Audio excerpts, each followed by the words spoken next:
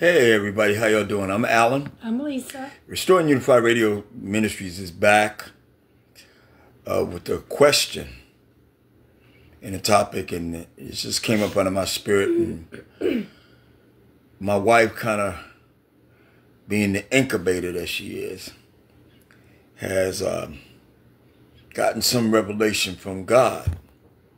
And I actually have a two part message, so I'm going to go into the next message after this.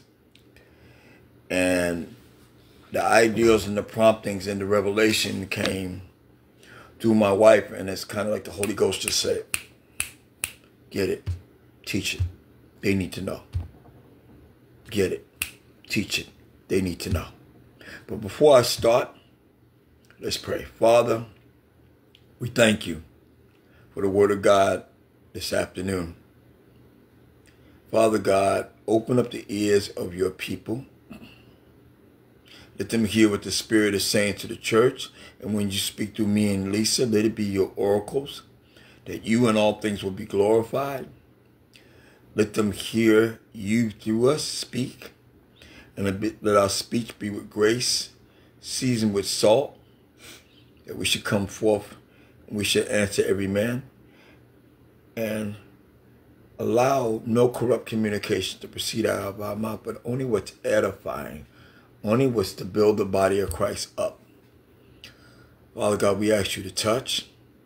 We ask that you would just give us wisdom. Holy Spirit, bring back everything to remembrance from us, from the Word of God, from what we've experienced, so we will be able to share with your people. And um, we can go about this lesson and teach this word of God so people can have an understanding of who you are, the difference between falsehood and the truth. In Jesus' name we pray. Amen. Amen. All right, everybody, if you will, I'm going to cut this message short. And it's called Are We Gods? Are We Gods? Now, I've been around many, many occults, many, many religions most of my life. I've run into people that believe in the God of the higher power. I've been around people that were Buddhists. I've been around people that were um, into uh, Hinduism. Hinduism, different types of meditations, yoga, that type of stuff been around them mainly all my life. Uh, people that were practicing Judaism. Um, did some studying on the Jehovah Witnesses and how they believe. The Nation of Islam. And um, different religions. Even been around people that claim to be atheists, but they were actually agnostics. I, I find it hard to believe that. Usually, when a person goes around and they hurt themselves or they catch themselves in a crisis, a crucial crisis or an accident, the first thing that comes to their mouth, because the Bible says, out of the abundance of the heart, the mouth speaks, is, oh my God! Isn't that true, Mama? Mm-hmm. Every time you Jesus turn around, Christ. or Jesus Christ, they use the name of the Lord in vain. But they don't believe it. They say it, but they don't believe it. Oh my God. I know every time my favorite team, the New York Mets, I love baseball. And I've been a Mets fan since I was 1963, since 1963, since I was three years old. Dad used to take me to Shea Stadium to all the ball games. And the new slogan now with the New York Mets, and it's always that blue and that orange color. Every time somebody hits a base hit and drives in, you know, a RBI, which is run batted in, they drive a run, or they hit a big home run and runs come in, me and my wife noticed, my wife says, what does that mean? they would hold this sign and say, OMG, which means, oh my God. like, I can't believe he hit the home run. But they would always use the name of God in vain.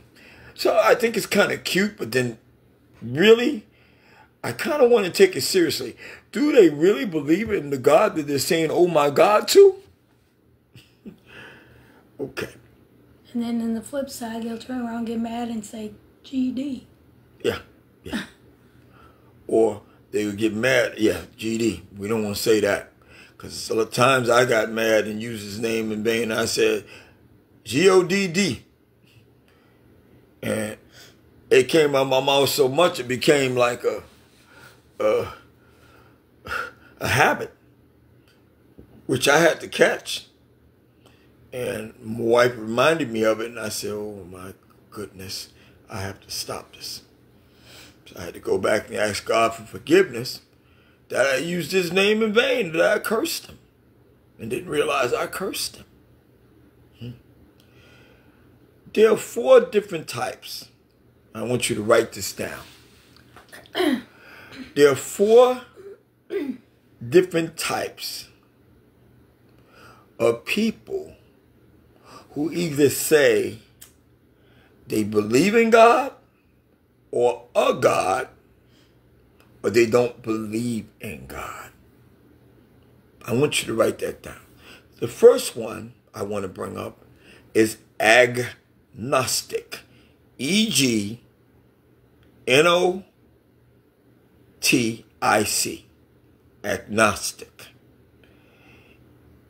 This person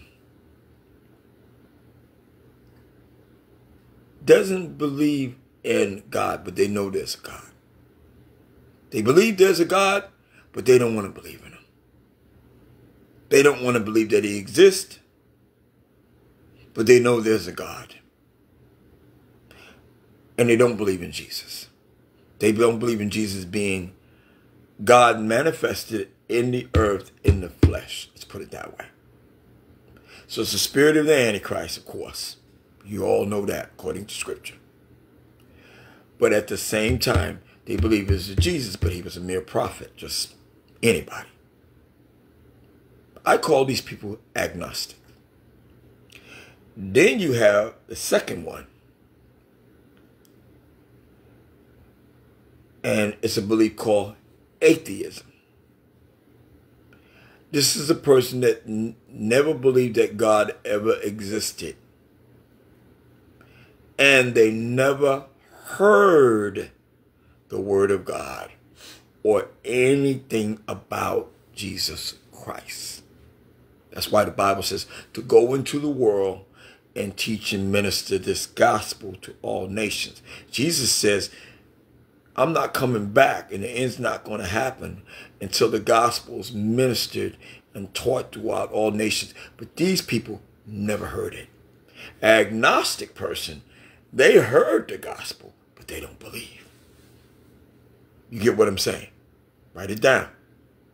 Agnostic person, they heard the word of God, but they don't believe. But they know it's a God. And they call Jesus just a mere prophet. Or just somebody that walked the face of the earth. They never believed that he rose from the dead. They believe he's in the tomb and he still died, like the people in Judaism. But a person of the atheism does never never believe there ever was a God that ever existed and they were never taught the word of God in order to understand. So they know nothing about our God. They know nothing about Jesus. They never heard the gospel of the kingdom at all. Then you have the people that's in, what's that word says, baby? Polytheism polytheism. P O L Y T H E T H E I S T I S M. This is people that will not worship our God, but they worship their own God or goddesses. And they believe it's only one of those gods or goddesses exist or it could be many gods. but they believe mainly there's one God, but not Christ. Christ is not included. Now, there's another one called pantheism.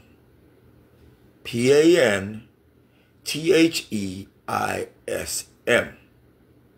This is a religious belief that everybody in the face of this earth is a God.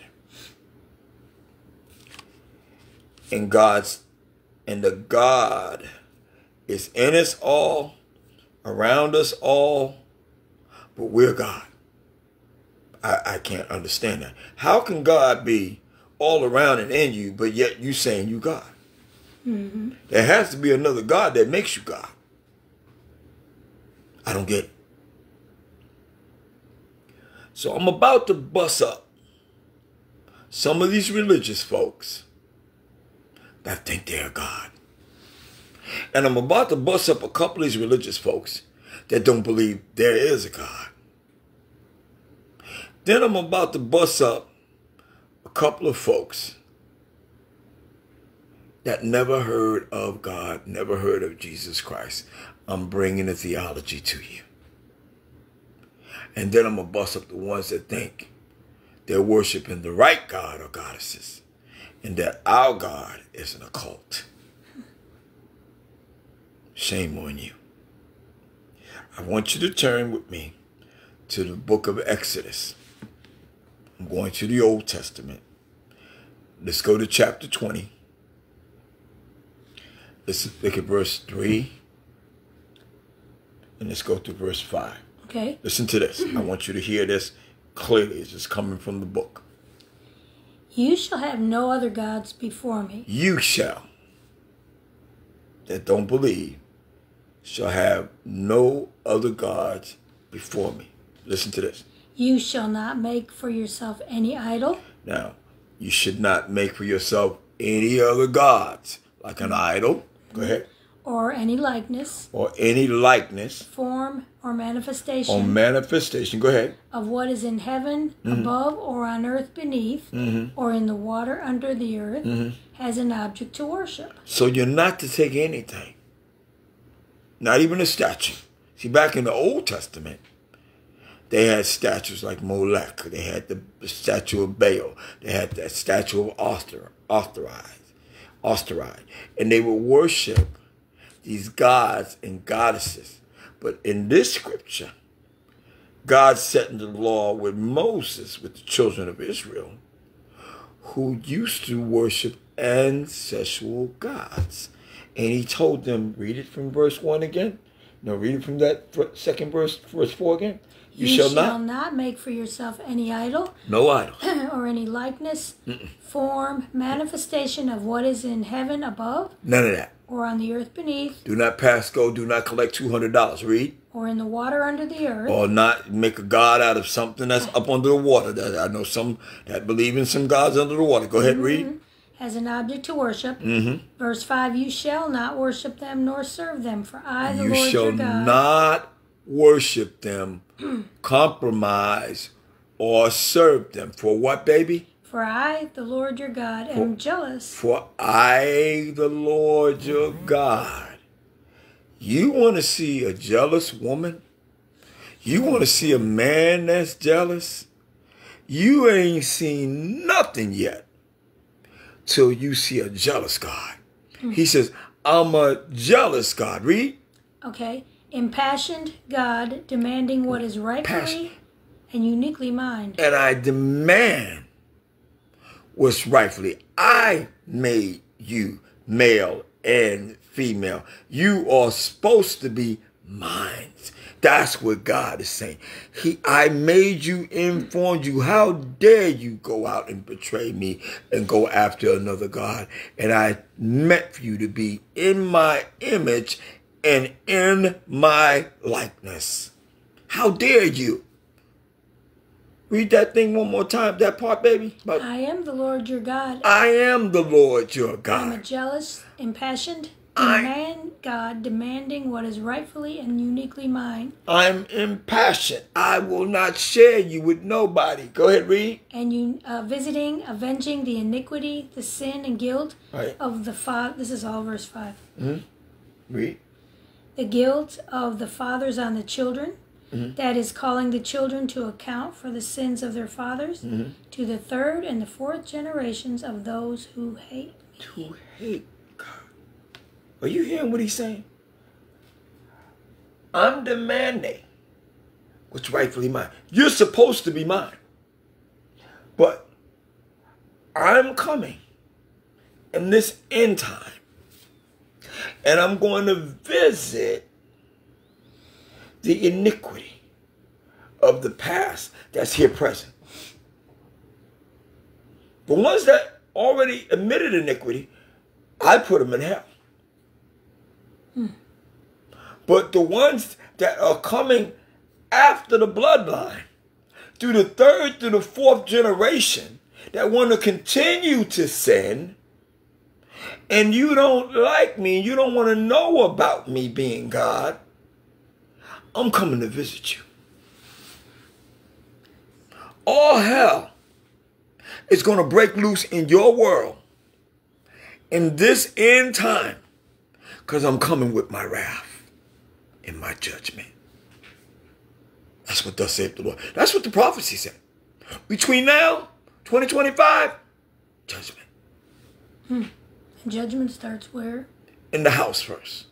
In the house of the Lord first. To the people that's supposed to know God and supposed to be living by his word, they're going to be judged first. God's got to clean the house up 1st He got to do some separation. Because there's been too much fake people in the midst for a long time. Time to clean the tare out from the wheat. Time to get the goat away from the sheep and separate. And the goat in this in this instance is not greatest of all times, Nope, like they use in the sports Nope. world. nope. Different kind of goat.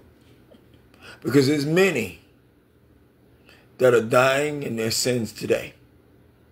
I'm not going to say that Stevie Wonder was a saint. I don't know. He was one of my favorite singers. He's gone. Yes, yes, Stevie Wonder died this week. Another artist you all know, especially in the rap game, and um, trying to remember the guy's name. Do do do do do. Do do do do do. Here we go, here we go, here we go now. That guy.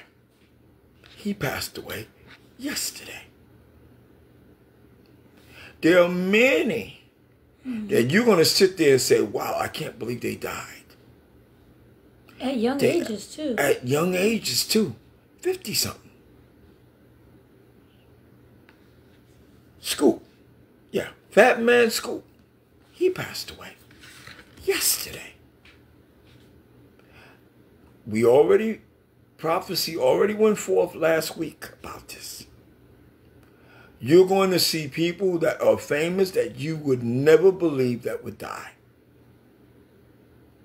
And many went on either to be with the Lord if they got saved, or they made their maker someplace else.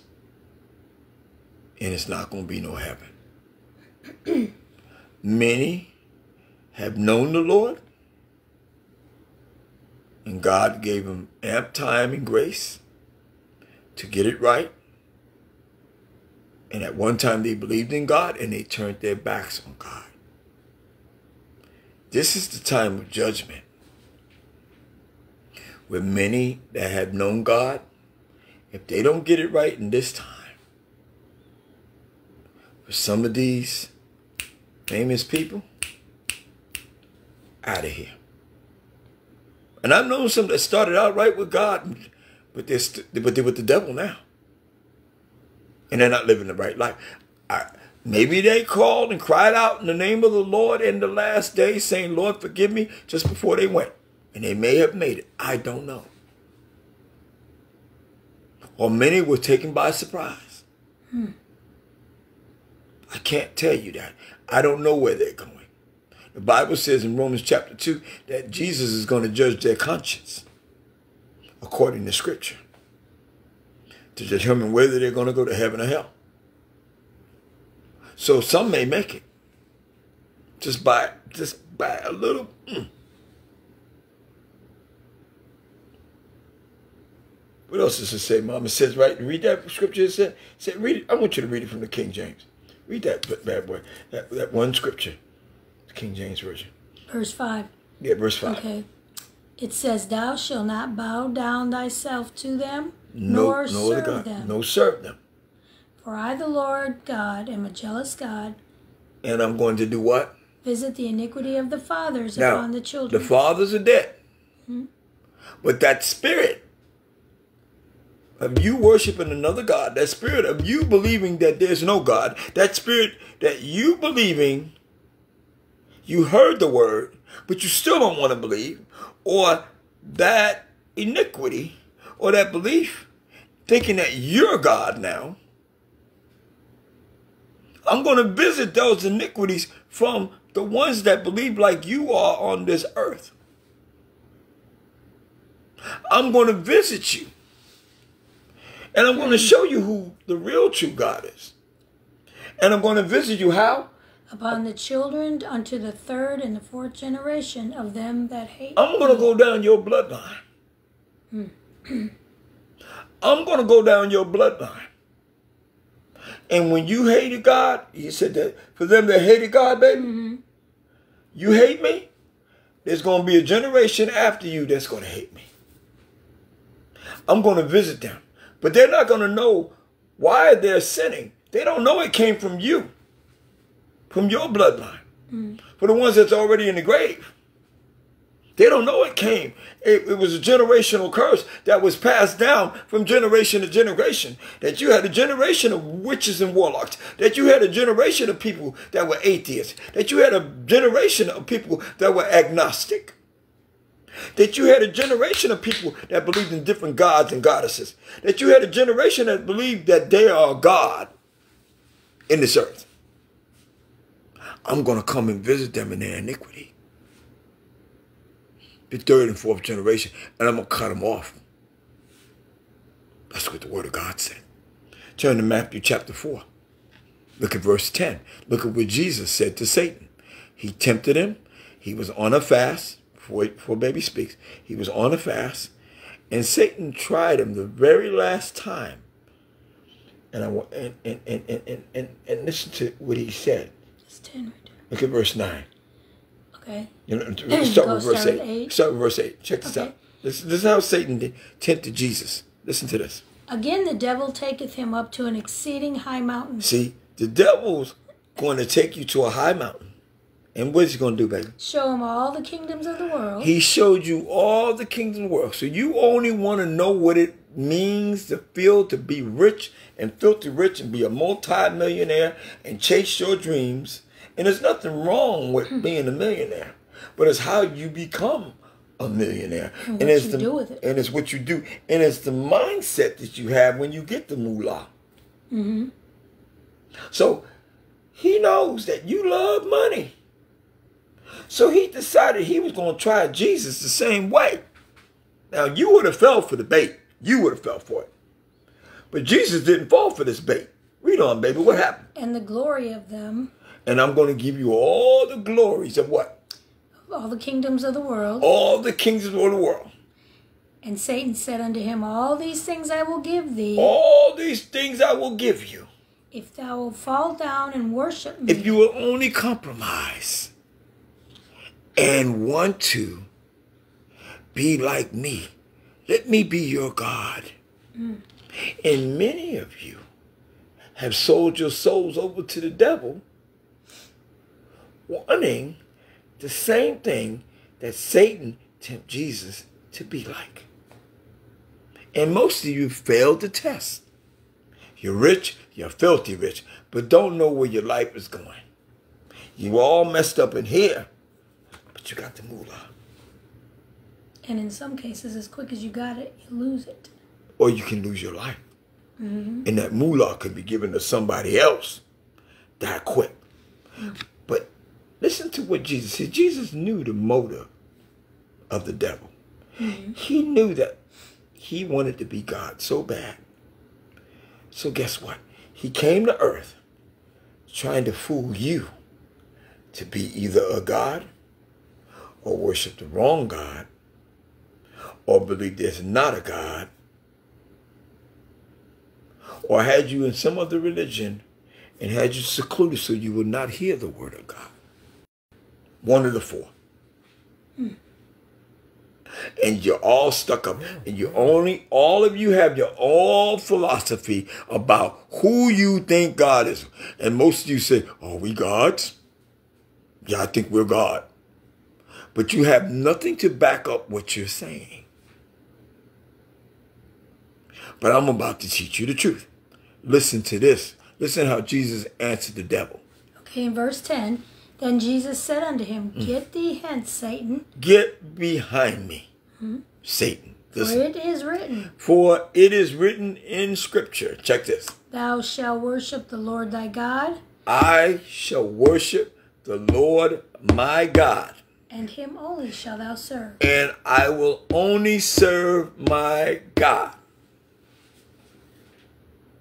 My question is, what God are you serving? Hmm. Or are you into yourself and saying that you are God when you're not? Or you don't believe there's a God. You're self sufficient. You can do it all by myself. And it's always the same. Believe in yourself and nobody else. I believe in the power. But what God are you believing? Are you believing in a higher power? Are you believing in the true and living God? You just heard the scripture in Exodus. He's a jealous God. Mm-hmm.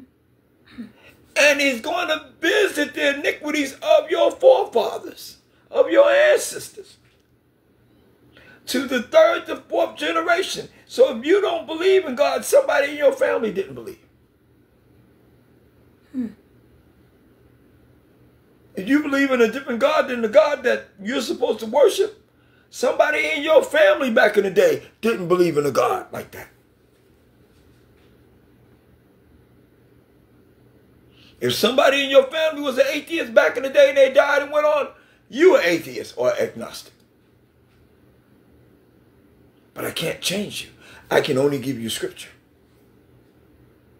Hopefully, the Holy Spirit will do a work in you and transform and change you or come to you or you have a dream or open vision or revelation or something because God says he's not only going to shake earth, he's going to shake heaven too. He's going to reveal heaven to the ones that don't believe in order to get them to believe.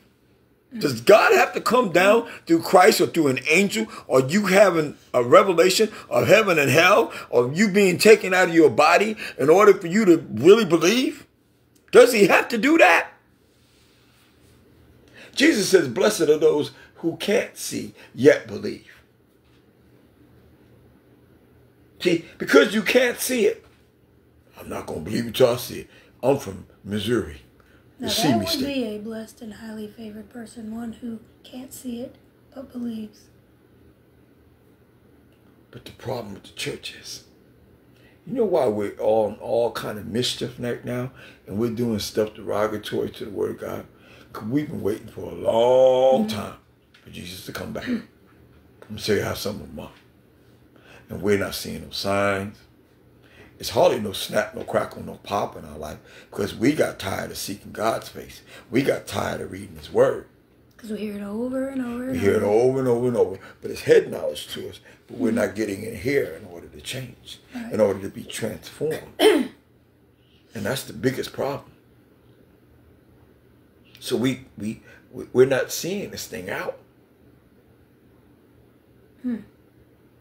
We're we're not understanding that God is in us, his spirit, and that our spirit is supposed to connect with his spirit, saying that we are sons and daughters of the Most High God. So we can't identify with him according to scripture that, and we can't walk it out in our life. We get bored. And we do what we want to do. And all of a sudden, we become our own God. And then we miss the true and living God. Pretty much. That's what it all boils down to. Because we can't see God.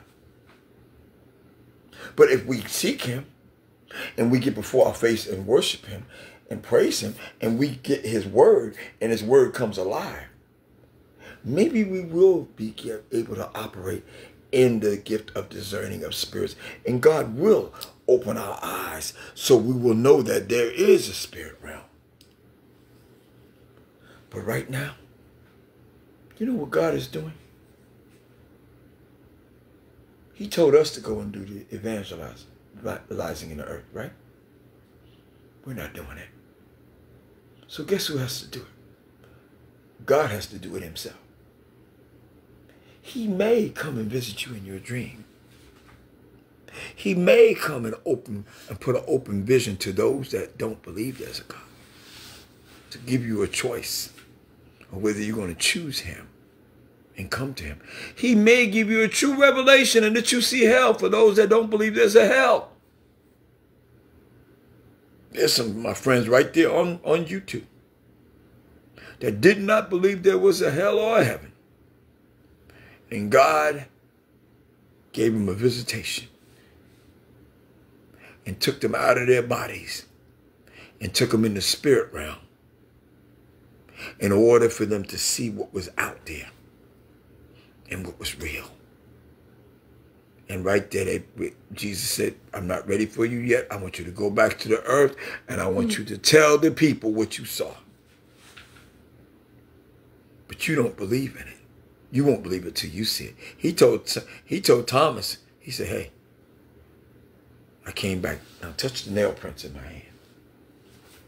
Does a ghost have flesh? Now do you believe? Until doubting Thomas saw it for himself. That's when he said, My Lord, my God. That's what a lot of you atheists are going to say when Jesus Christ comes in through the cloud for his church.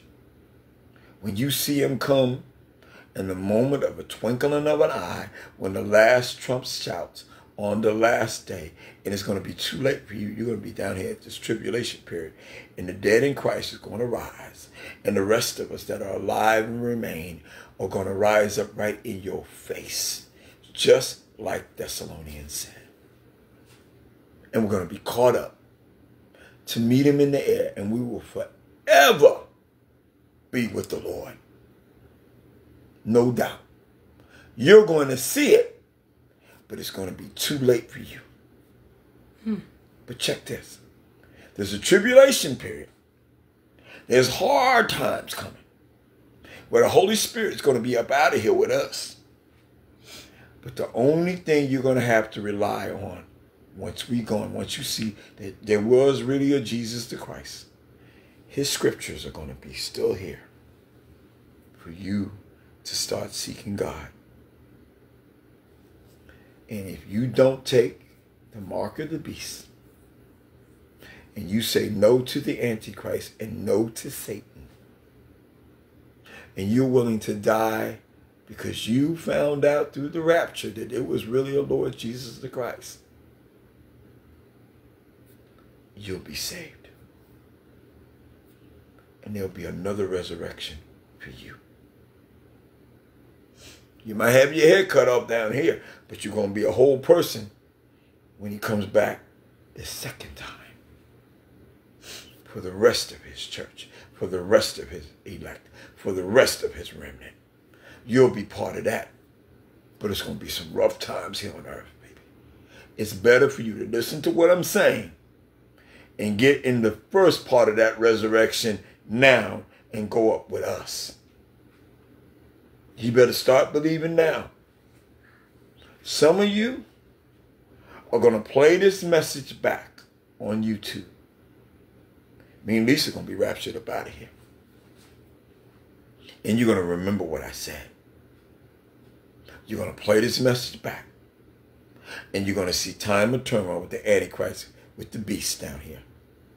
And you're going to think he's the true Jesus. He's the true God. He's going to be working signs and wonders and miracles. They're going to be faults of the devil deceiving you.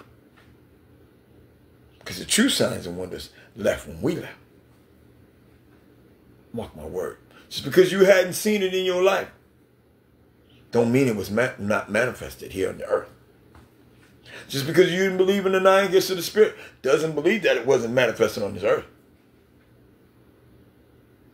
Might not have been manifested in your life, but it been manifested in my wifey's life, and it been manifested in my life, and I know some other saints that have been manifested in. So there is a God, but it's not the God that you worship.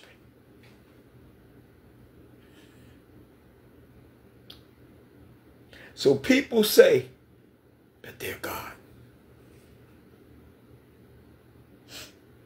But I'm going to take you to some scriptures, two scriptures.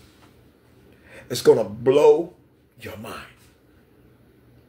And some of you, when you hear the scripture, you're going to jump and see, see, see, that we are gods. But you only read one portion of mm. that scripture. Yep. and I'm going to break it down and I'm going to teach it in layman's terms. I'm going to break it down so good, even a five-year-old can understand what I'm saying. What did Jesus say back there? What did he tell Satan?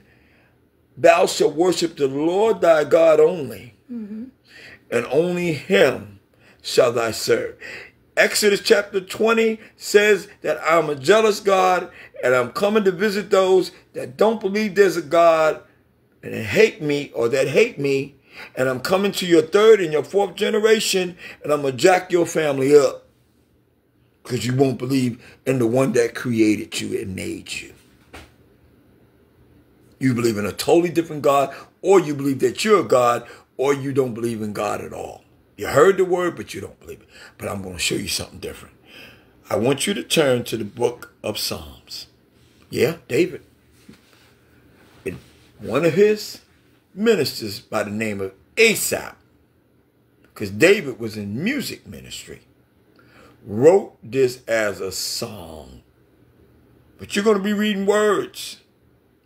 And my wife is going to go, first of all, to the Jewish Bible because I'm going to tell you why. That real Aramaic and the real Hebrew gives out the truth of what, because it's the original translation. Then we're going to go back to King James. I want you to hear this argument about being God. Listen to this. We're going to Psalms 82. 82, starting with, starting verse, with 1. verse 1. A psalm of Asaph, Elohim. All right, now, Elohim, let me explain that was a Hebrew and Aramaic name for God in the Old Testament. He is the what? Ancient of Days. He is the God Almighty. Understand this. He is the God of power. Now, God, let me explain what Elohim also means to us. Because a lot of the churches will not teach this doctrine. In the Jewish religion, and I'm talking about the Messianic Jews, the Jews that believe in Jesus Christ, not the Orthodox Jews that never believed that Jesus rose, not the scribes and the Pharisees, but I'm talking from the Messianic Jews. Listen to what that believe in Yeshua. This is his original name, HaMashiach, which means Jesus the Christ. In Latin and Spanish is Jesus Christos. The name Elohim can also mean that you if you are in Jesus Christ. Because the only way to God Almighty and the only way to God of our power is through Yeshua HaMashiach. To what I'm saying. And so, since his power was extended and God became man, that's what Emmanuel means. You said that word Emmanuel means God with us. God came in the flesh like man in the earth. He was Elohim. The Almighty God came down in the flesh, the God of power, the God of mercy, the God of love. He had all these characteristics. Why did he come? So he can identify himself with the ones that he created. Let me explain this. And when he identifies himself with the one that he created, he really wanted you to be his. So he can hmm. extend the same almighty love and power and the same love, the same grace, the same mindset, the same likeness, the same heart. He wanted to give it to us because we belong to him. He wanted to make us like him. So you can be Elohim. Listen, listen, listen. Like he's Elohim. So if he has the power, if you come to know his son, who rose from the dead. It was God that rose to the dead and went back to himself as the Lord Jesus the Christ, the Father, Son, and Holy Spirit in Jesus Christ sitting at the right hand of himself. Are you understanding what I'm saying? In the flesh, he's the Son of God. But in the spirit, he's God. So he has extended his love. He has extended his power. He has extended his protection. He has extended his blood. He gave you all of this and expected you to walk on the face of this earth because he made man to be down here.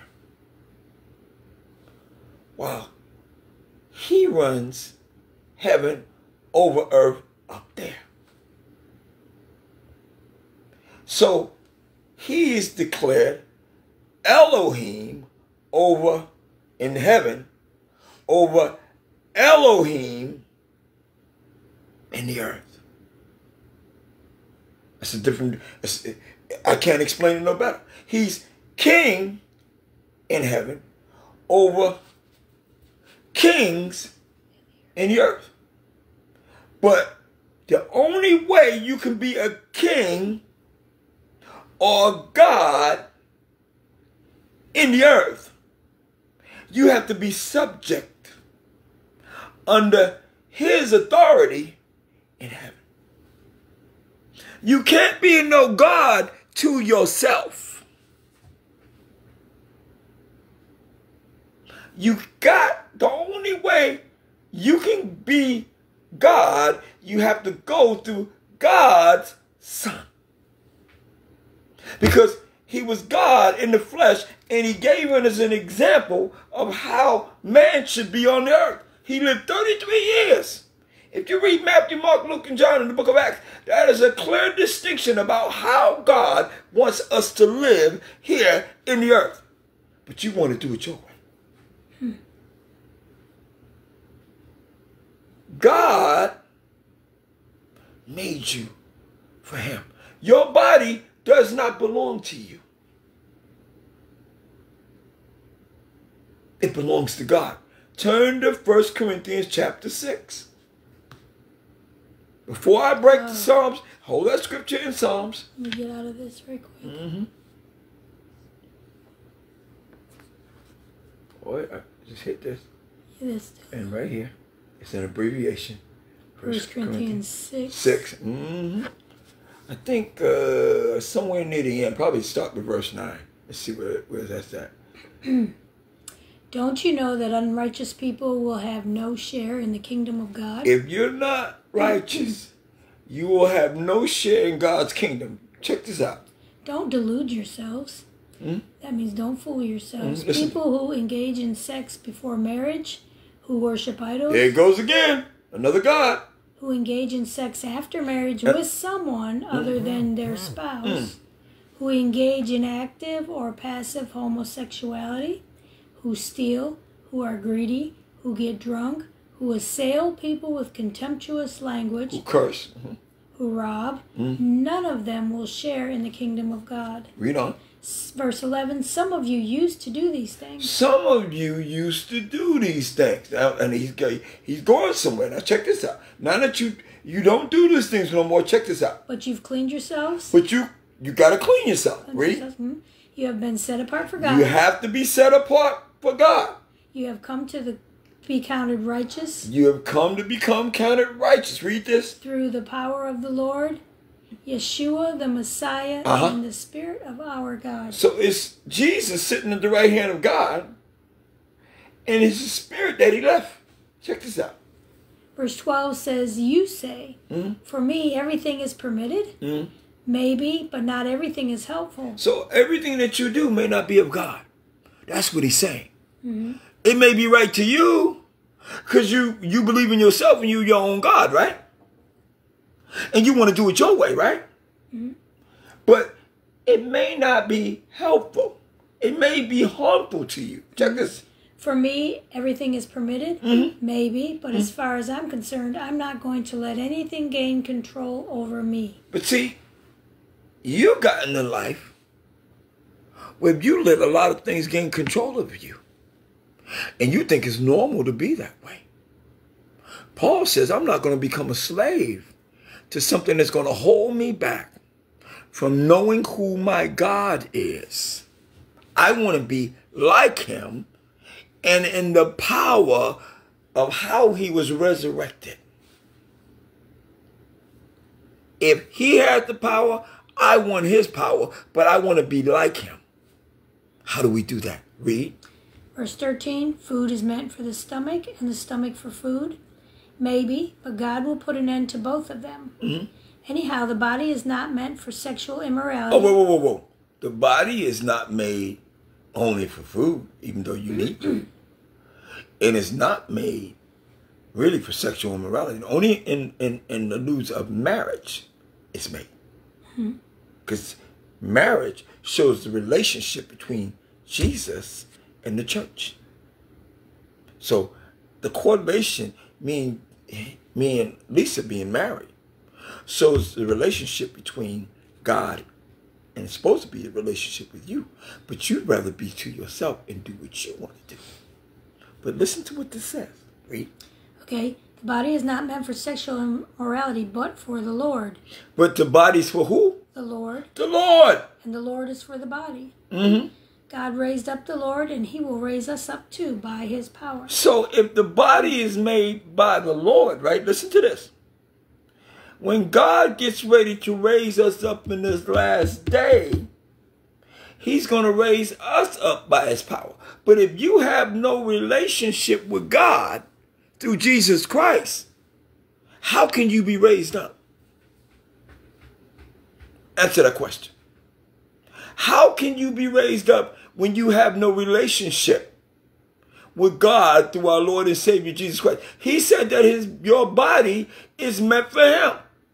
And if you're not using your body for him, he's not raising you up.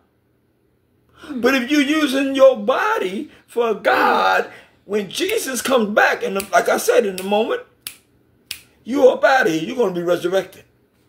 Because you're trying to be like God while you're on earth. Now, now this is powerful, this next one in verse 15. I want you, chapter 6 of First Corinthians, verse 15. I want you to get this. Read.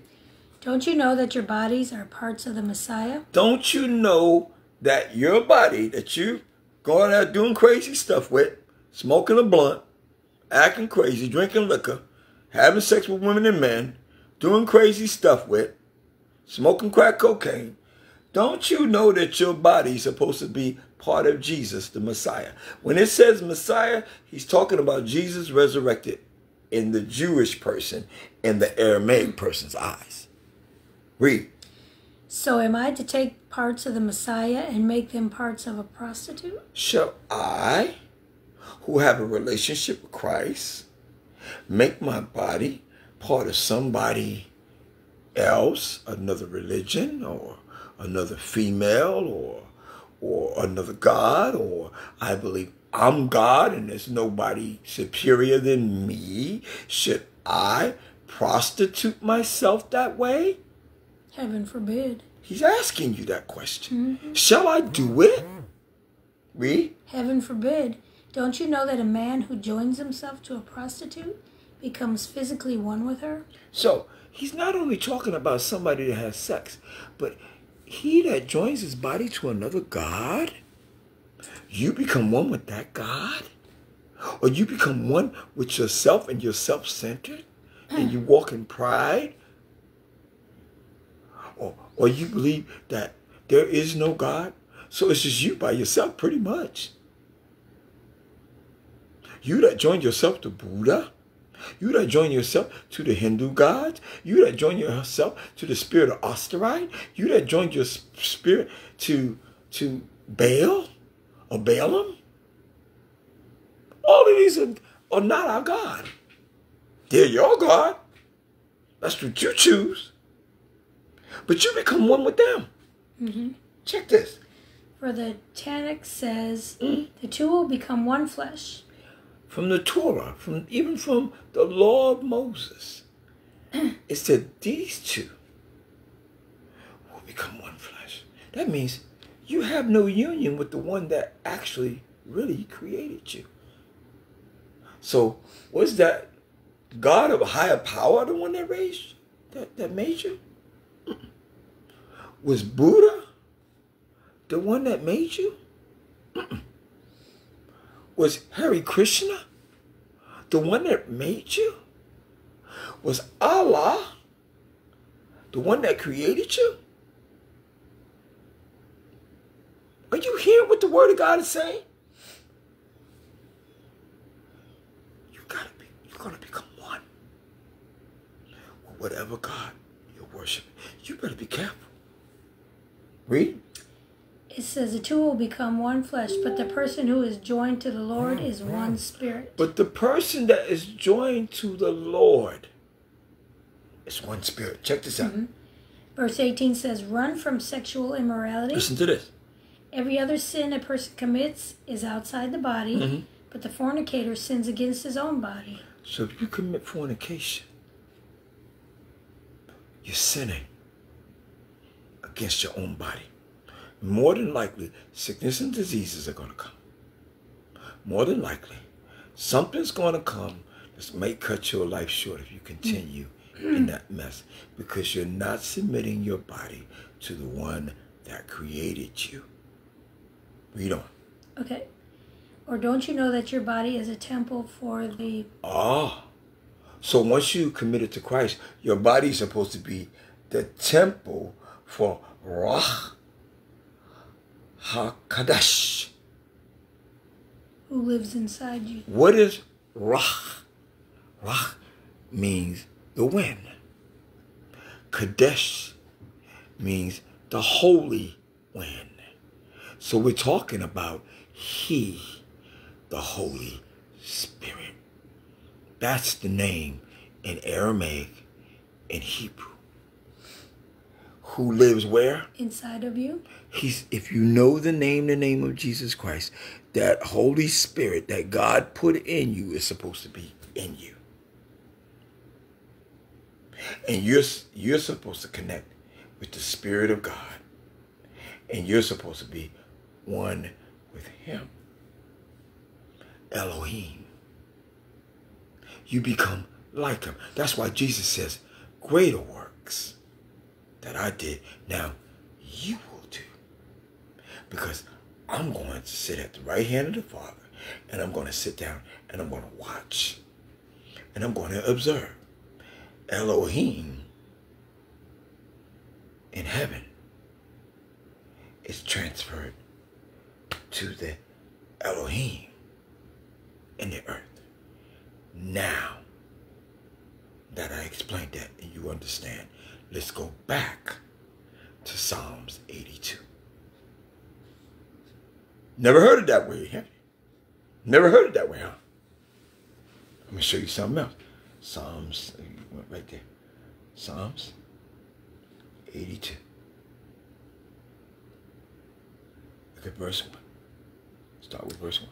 Read it again. A psalm of Asaph, Elohim. Now, Elohim in this is you if you have a relationship with who? God. Jesus Christ. Jesus Christ. mhm. Making him God, your creator in your life. What is his name in the Aramaic and Hebrew? Yeshua HaMashiach, or the Messiah who's risen. Elohim stands in where? The divine assembly. Where is the divine assembly? Where are the people that are spiritual like him? The ones that know Jesus Christ. See, David and Asaph was prophesying about this time.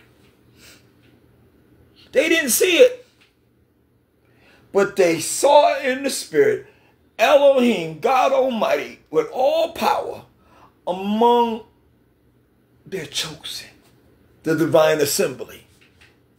I'm giving you revelation. He seen it. They it wasn't back in those times, but he was caught up in heaven. And he was given a revelation and he sang a song about it. Asaph. Asaph was a serious prophet around David, right along with Nathan and the rest of them. If you want to study about Asaph, Asaph was a prophetic person, a prophet who sang songs. And he seen things in the spirit that you wouldn't believe. He saw us before God, Elohim, in him making us Elohim in the earth. He saw the divine assembly of these people. And check out what happened.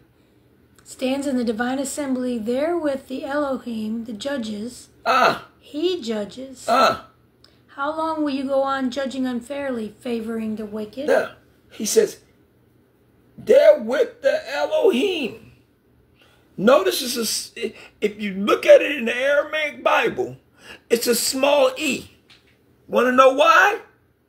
Because he's talking about us here in the earth. Being like him. That's why Jesus had, God had to come in the form of the earth to man. So it was God with us in the earth, in the flesh, because God is a spirit, right? Mm-hmm. But he had to make himself known in flesh to us to show us how to be like God. Or man would have never known what it was to be like God. So we are, he, he was with the divine assembly, that's us. They're with us, the Elohim. We are the judges. And I can show you scripture and verse showing. It said the Bible says the righteous man judges all things. And I'm not talking about the judgment where we're pointing fingers and pointing out people's faults.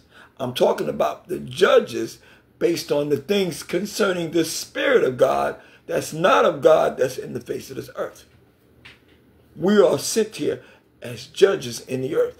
Or another word for judges from the Old Testament is the New Testament apostles. Didn't know that, did you? See, when Samuel was the last judge, remember, the people went against his ministry. And they told God, and they told Samuel, you old. We don't need no judges no more. We don't want you. We would rather have a king. And what did God tell Samuel? Leave them alone. Let it be. They're going to see the hardships. The same thing is happening in this earth. God is raising up true apostolic people who are running in the line. Because remember, the past always repeats itself. Mm-hmm. And these apostolic people are coming, the truth. And there are churches and there are people that oppose the apostolic ministry today. And they talk down to it. Now, I see why sometimes they talk down to it. Because some of you are not apostles. You just sit your butt down. You need to sit your butt down. Some of you are not true apostles. I can teach you on that all day long, but we're not going there. We're talking about who are gods and why we why the people in the world go around saying they're gods versus the children of God who God says are like him or supposed to be like him. That's all we're trying to identify right now. Now, it says he judges, mm. right? Mm. And he says, how long will you go on judging unfairly and favoring the wicked? Why did Asaph say that? Because he had no revelation of the Son of God yet. He can foresee in the spirit what was. But you got to put yourself in the Old Testament they never knew Jesus. They never knew anything about God's grace. So they thought that the wicked was getting away with murder back then. And the righteous were getting it. So they were blaming God. But all along, it was Satan's doing. They didn't know what spiritual warfare was about. They didn't know that we wrestle not against flesh and blood, but against principalities, mm -hmm. against powers, against wickedness, and all this stuff. They didn't know all this back then. So you got to put yourself in the context of what Asaph was singing. Now, notice he said Selah, because it's for something for you to think about. Think about. I gave you verse 1 and 2 in a nutshell, and I gave you revelation. So you need to sit down and think about it think on these things. That's what she got to think on these things Thursday for. That's why you got to see Lisa on Thursday. Now let's look at verse 3. Okay. Give justice to the weak and the fatherless. Mm -hmm. Uphold the rights of the wretched and the poor. Mm -hmm. Rescue the destitute and the needy. Mm -hmm. Deliver them from the power of the wicked.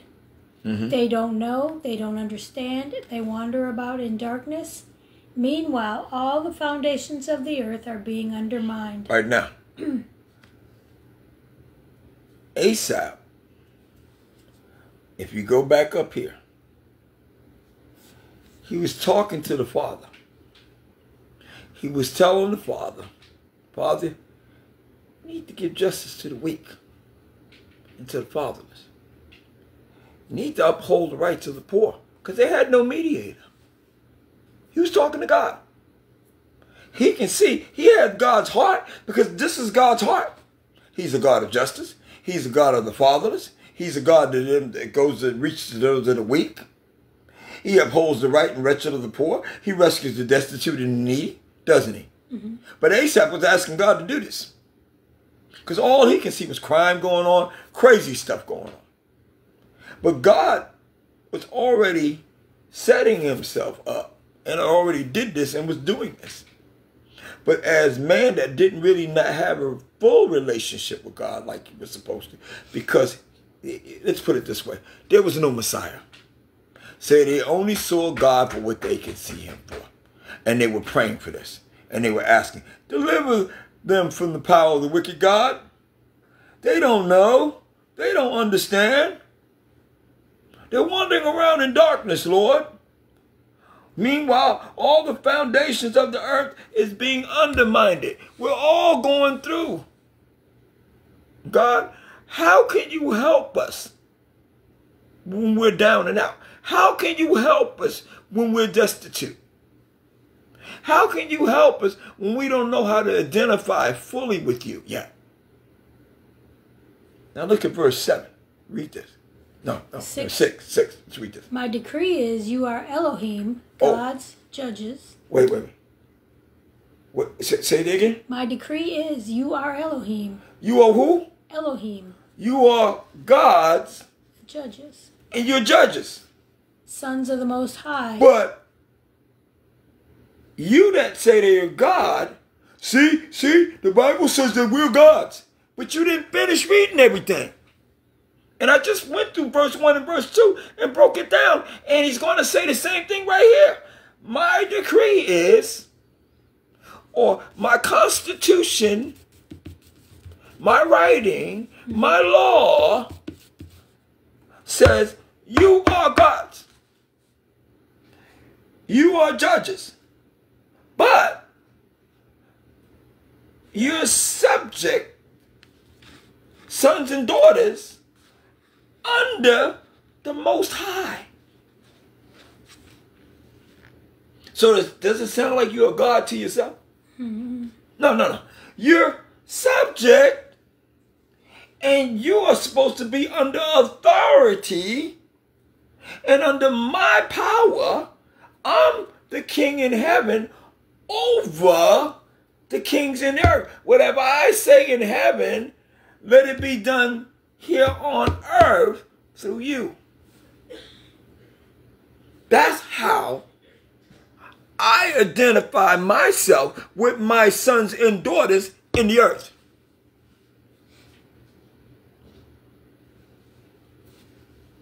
Don't look at me like you. This you teaching a new doctrine. Uh-uh. Right here, I'm reading from the original Bible, not no King James. I'm going back to the Aramaic and Hebrew. It says, "You are Elohims." So Jesus says, "Greater works you will do, just like I did." And you're identifying yourself with God. But you're to be under and subject under authority. If you go to that job, you got a boss, don't you? That's right. Got to be subject under authority. When you go to church, you got a pastor, got to be subject under that authority. Even in my business, is me having my own business, still I'm leased on with the company. There is some type of me humbling myself to somebody. Am I right? If I don't, I'm not going to get a paycheck. If you don't want your lights turned off, you're going to be subject to the electric company. Hello? If you don't, If you want your house not stinking, you better be subject under that trash company too. yeah, So don't go around saying, I'm my own God. No, you're not. you want to drive 80, 90 miles an hour in a 35 miles speed zone, you are subject to the city police. Write this down. I want you to never forget this. As long as I live, write it down and say it. I will be subject under some type of authority or power. Yep. And you, you- you're going to have to learn to humble yourself too. Mm-hmm. See, us Americans, we're spoiled. But there's going to come some dictatorship to this country. Quick, fast, and a hurry. Because of the sins. And many of you are going to be subject under authority who's going to break that pride. Quick, fast, and a hurry. Because you may not have the freedoms that you've been used to having. Because things in this nation is going to change. It's coming. Just like some of these third world countries, it's coming. Then you're going to see how they felt in their own country because you don't know how to submit under godly authority. It says, nevertheless, it says, it says, you are Elohim's and you're God's judges, sons of the Most High. So you are God, but you're subject under God. Mm-hmm. Turn to Matthew 6, Lord's Prayer. I want them to get this. You say the Lord's Prayer all the time, but you don't understand what it's saying.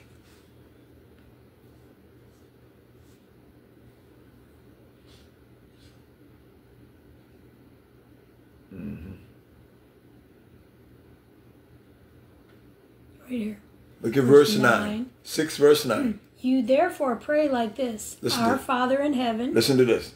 may your name be kept holy. hmm May your kingdom come. Wait, wait, wait. Slow down. Your kingdom, may your kingdom come. And your, Will be done where? on earth as it is in heaven. On earth. Just like it is in heaven. So, if he's the God of heaven and he created you to be here on earth, you're supposed to accept his kingdom from heaven. You're supposed to accept his kingdom from heaven on earth. You're supposed to be subject under his kingdom rule. He's king in heaven over king in earth. You're supposed to follow his instructions. But the problem is, we're rebellious. You want to be a God. But the only way you can be a God, you have to be subject under God through our Lord and Savior Jesus Christ, who's already risen. Kingdom come on earth just like it is in heaven. You're subject under rule, rulership. That's your dictatorship. Supposed to be. But most of you want to be a God. Most of you want to believe a different goddess and a god. Most of you don't want to believe in God. What else does it say? Let's go back to let's go back to uh Psalms again. 82. Just want to sidetrack because I got a cross reference in order to explain to you. This is the only way you can be a God. 82. I think it's verse 5, right? Yeah, yeah, yeah, yeah. So, Asaph pleads with God to come for a man because they don't understand and they wander around in darkness. Meanwhile, the foundation of the earth is undermined. Earth's about to be destroyed. But this is our way. You have to be a God, subject as a son under the Most High God. And the only way you can do it is through Yeshua HaMashiach, the Lord Jesus the Christ. You cannot submit under God unless you submit under the Son. Because God had to come to earth, manifested in the flesh like you, in order to bring you back to the God in the Spirit. He gave you an example to follow. And if you're not following that example, you will miss God. Nevertheless, verse 7, what does it say? Says, Nevertheless, you will die like mortals. Mm. Like any prince, you will fall. Now, now, now, check this out. Why did he say that? Because you're a God in the earth. Mhm. You're Elohim. It's a small g and a small e. He made you from dust of the ground. And he breathed in you his oh, his breath, his spirit, his pneuma, his God kind of life, so you can be like him. But this body is going back in the ground. It's made of dust. So you're just a mere mortal, but your spirit man lives on. And like a prince, you're gonna fall. Now look at verse Verse 8. 8 says, Rise up, Elohim, Mhm, capital E, and Mhm. judge the earth, mhm. for all the nations are yours. Rise up, Elohim, and the judge, and judge the earth, for all the nations are yours. That's a revelation. Let me break that down. Why isn't the earth yours now? Why? Because we have the prince of the power of the air, Satan. Mm-hmm. But he made you Elohim to rule in your world while you're here in the earth. Now, he tells you to rise up. Just like Asaph said, Lord, rise up.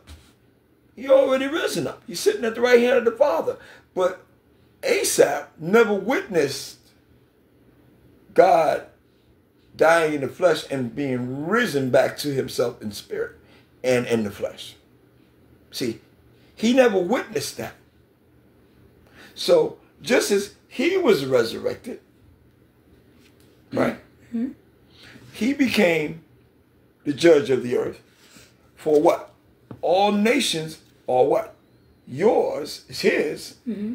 And also you identify with Jesus Christ because when he comes back for his church, you're going to rise up like him.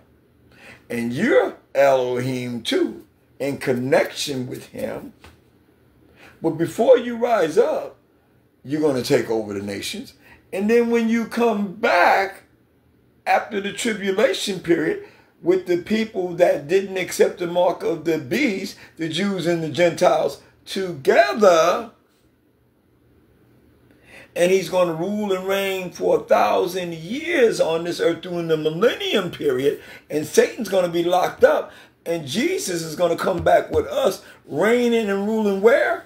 Here in all the nations. It's going to be ours.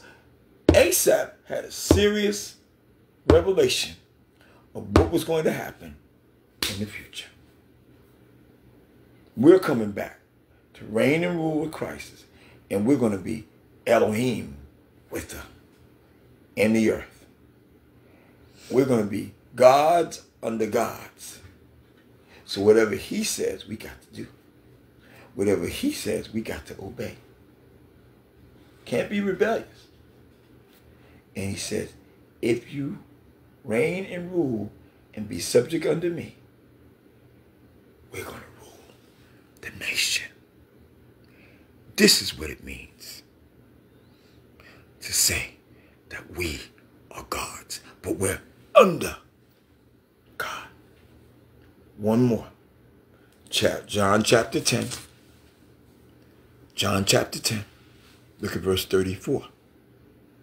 Now, these religious leaders were giving Jesus a hard time because he was identifying himself with his own God the Father because he was God incarnated in the flesh on the earth. But the Jews that were walking in the flesh never understood it. These were Orthodox Jews. So it came to a point when Jesus had to reveal to them the mysteries, one of the mysteries of the Spirit. And this blew their mind. But when you read this, some of you that go around saying you gods, you went around, see, see, even Jesus said we're God. Even Jesus said we're God. But that's not what he meant. You need to read the whole scripture. I want baby to start with verse 34. Check this out. Yeshua answered them, Isn't it written in your Torah, I have said you people are Elohim? Mm. If he called Elohim the people to whom the word of Elohim was addressed, Mm-hmm. and the Tanakh could not be broken, That means the law cannot be broken. So what he's saying, if he called Elohim, if he called you God, to whom the word, okay, because Jesus is the word, Elohim, was addressed. So in other words, they're still subject under authority. See, he called you Elohim, and you're supposed to submit yourself to the word of Elohim. And he says, didn't your Torah, didn't your law say this? And he said, then the law of the Spirit, the Tanakh, cannot be broken. But you have to be subject. It says, the word Elohim, the word. You have to be subject. You are Elohim, subject under the word Elohim. Jesus Christ breaks it down even better. He's telling you he's the word, but I'm on earth right now. Mm-hmm. But I'm getting ready to be resurrected. And when I'm resurrected, I'm going to be called the word. Because if you go to the first John chapter 6, verse, excuse me, verse 5, 6 to 7, it says there are three that identify in heaven. It says God the Father, the Word, and the Holy Ghost. So he's letting you know that in the future, after I'm risen up, I'm going to be Elohim, the Word, and you'll be little Elohims in the earth, and you're going to be subject unto my words. Pretty much. But you going on because you don't read, and you read the other part. Oh, we're gods. See, the Bible says we're gods.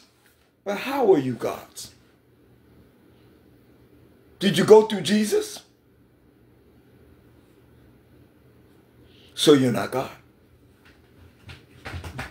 Got to go through Jesus in order to be a God in the earth. But you're subject under authority. I don't care what you say. Read it again, Mama. If he called what? If he called Elohim, Mhm. the people to whom the word of Elohim was addressed, Mhm. Then the Tanakh cannot, cannot be be broken. broken. Check this out. Verse Thir- 36 Then are you telling the one whom the Father set apart as holy Mm. and sent into the world, you are committing blasphemy? Just because I said I am son of Elohim? So, then you're telling the one whom God set apart. Jesus was set apart as holy. And he was sent to where? The world. Mm-hmm. And you're trying to tell me that I'm blaspheming God? Just because I identify myself with God the Father? What Jesus was trying to tell these knuckleheads is that you need to identify yourself with the Father, but you have to go through me and acknowledge me first, and then you can become Elohims under submission. But they were believing it the Old Testament way and not seeing what Jesus was saying. And Jesus even had to go to the Old Testament to show them Psalms 82. And they still didn't get it.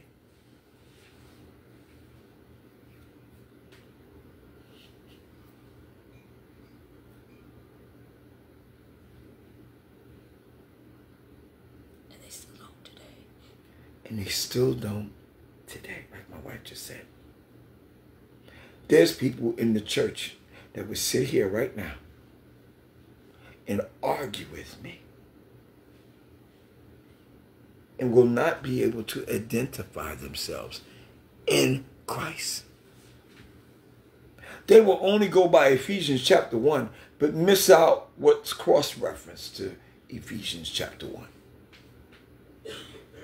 Because in Ephesians chapter 1, it should be at the beginning of the Bible, really. Because Ephesians chapter 1 talks about us being predestinated or our our our purpose in life was founded before the world even begun. so God foreknew that you were going to be Elohim or a God in the earth under a God in heaven because he chose you before the foundation of the world to do it. It says it in the book of Ephesians. Need to read it. Verse 5 and 6. You've been predestined. I don't even have to turn it. I know it from the top of my head because I know who I am. Do you know who you are? In Christ. You are the fullness of the Father, Son, and Holy Ghost in Christ.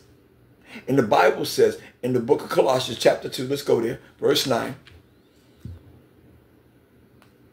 I want to show you where you are, God. Mm-hmm.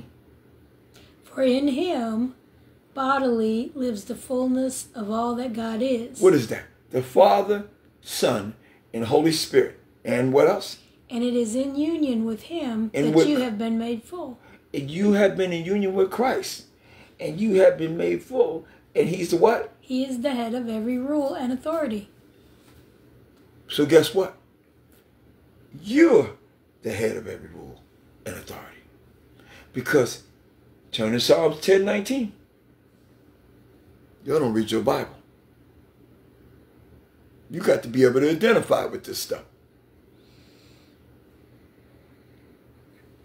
What's it, John 10 19? Did you say Psalms? No, John. Oh, I thought you said Psalms. No, Luke, Luke. I'm sorry, Luke, Luke. Luke 10 19.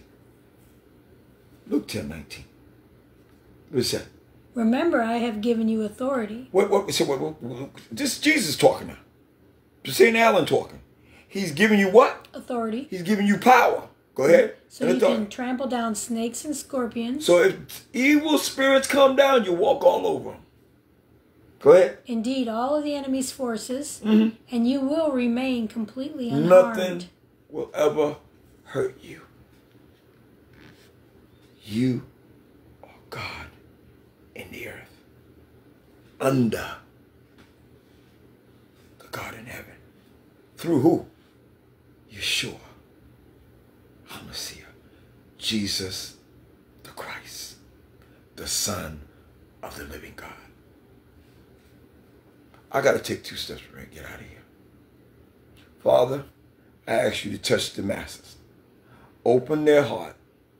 Give them revelation according to your scripture. Help them to understand what the scripture is saying when they say, Are we gods? Help them to know you in the power of your resurrection. Reveal yourself to them as Elohim. Show them, open their eyes, that they would not be blind to what your word is saying. In Jesus' name we pray. And that their ears be open to hear and their eyes be open to see what the Spirit is showing them and what the Spirit is saying to the church. In Jesus' name we pray. Amen. Lisa has some important announcements to make about Thursday and about November 30th. Shoot them, Lisa. Joy, I want you to join me. Stay tuned every Thursday, where I do a series called "Think on These Things" Thursdays, coming from Philippians four and eight, and it's it's it's not real long, but it just gives you a quick word of encouragement, something to think on. We go to church Wednesday, we go to church Sunday, and how many of us our lives are actually changing? because of it. We we do our duty, we do God a favor, we show up at church, and we're still stuck in the same rut. Monday, Tuesday, Wednesday, Thursday, Friday, Saturday, Sunday. Mm-hmm. But we have got to mature. Those of us that name the name of Jesus Christ, we've got to come to a point of maturity in our walk on this earth with the Lord Jesus Christ. Mm-hmm. And every week I give you something to think on, and so that we can begin to change the way we think, mm-hmm. when we change the way we think, we're going to change the way we confess and change the way we our behavior is in this earth and become more Christ-like. So just join me every Thursday when I bring you Think on These Things Thursdays. Mm-hmm. And then we have coming up in November, Saturday, November 30th, mm-hmm. Sunday, December 1st, we are going to have our first annual Healing and Deliverance Conference. Mm-hmm. This year it's going to be held in Greenville, North Carolina Greenville, North Carolina. maybe different locations each time. This year it's going to be Greenville, North Carolina, Jesus. um, at Jesus Saves Ministry under the Apostle Lonnie Stock Sr. The address will be 1007 mm-hmm. West Arlington Boulevard mm-hmm. in Greenville. Mm-hmm. It will start on November 30th at 8:30 with breakfast. Everybody loves to eat. Then make sure you bring your. Um, he likes to say that it's some real good cooking. South. He says South That's some Carolina. South Kakalaki cooking, baby. Yeah, Oh yeah, we going low country mm. style. But bring your notebooks and your pens. And for those of you who say, "What's that?" That's those are the same ones who don't know what a rotary dial phone is. So bring your electronic devices and be prepared to take, Take notes. notes, yeah. Mhm. You're gonna need this. because we're going to have some different uh, we're going to have seminars that day different teachers we have our pastor pastor jonathan cook coming from the sanctuary of jacksonville right here in jacksonville north carolina he's going to be speaking We have Apostle Omar Morton coming from Brooklyn, New York. We have Apostle Chris Johnson coming from Cherry Hill, New Jersey. And then on Sunday, Alan and I will be closing out the service with uh, Sunday service, healing and deliverance service. It's going to be a blessing. If you have um, leadership that you want to send to it, or it's open to anybody really. It's open to anybody that would like to come. There is a cost for the seminar. It's twenty-seven dollars per mm-hmm. person, mm-hmm. and you can either pay at the door, or we take the payments ahead of time. You can either send Cash App to mm-hmm. Alan. Those of you who like to do Cash App, send it to Dollar sign. dollar sign A train A T R A T R A I N 1960. Or you can send it in the mail to Restore and Unify Ministries. Attention, Lisa Johnson. We have a P.O. Box 12052, Jacksonville, North Carolina 28546. Mm-hmm. Or you can call me on my cell phone at 252 638 9449. I would give you his number, but he drives truck over the road. He's just going to tell you to call me. So just call 252 638 9449 because if he's driving truck, he can't take the payment over the mm-hmm. road. Yep. Just make it that much easier. All right. Stay tuned for our teaching. And um, probably be on tomorrow. And I'm talking on the topic, me and Lisa. How are we supposed to see and hear God according to Scripture? How are we supposed to see and hear God according to Scripture? You don't want to miss this. We love you to life. I'm Al, I'm Lisa. Restore Unified Radio Ministry. We'll see you on tomorrow. Ciao.